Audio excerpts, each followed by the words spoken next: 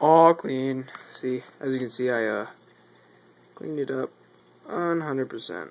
So, new filters. Got my water. It's a little steamy because the water is a little hot, so I'm letting it cool before I put my little, my little marble molly in there. Hey, come back. There he is. Mm, there we go. I love it whenever. That's such a cool view. but yeah, there he is. He's not very big. He's like three inches. But whatever. And yeah, I just bought that today, so it looks pretty good in there. And I give him a little better habitat to live in. Now this is like a, like a two gallon, one gallon. I think it's two. Yeah. And then come over here. Excuse me. Excuse me. Thank you. Very. Um, where's my dude? There he is. He's chilling on the side. Um, lum lum. He's pretty scared right now. I'm hoping he doesn't die overnight. But, uh. Actually, actually kind of scared he's dead right now.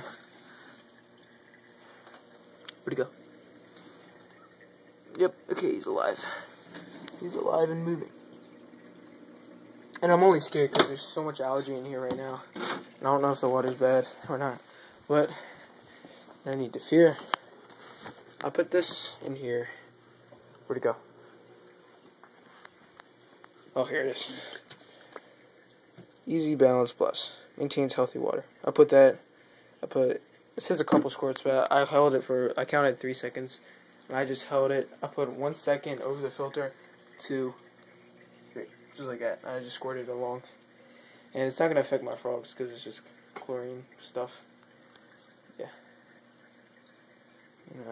You've never seen these guys, actually. They're almost a year old.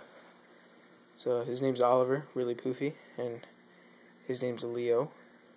They're about 20, 20 pounds, maybe 15 pounds, 20 pounds. Uh, they're like 20 pounds. But uh, yeah, really cute. Aww. Aww, so cute. But yeah. Uh, there's my little dude. He didn't really move, budge. Wake up. You guys are gonna hate me for this, but know you guys hate me now. I'm such a bad person. Oh, uh, he's gonna drown. Okay, he's good. Oh yeah, I'm a bad guy. Whatever. But uh, yeah, tomorrow, cage. There you go.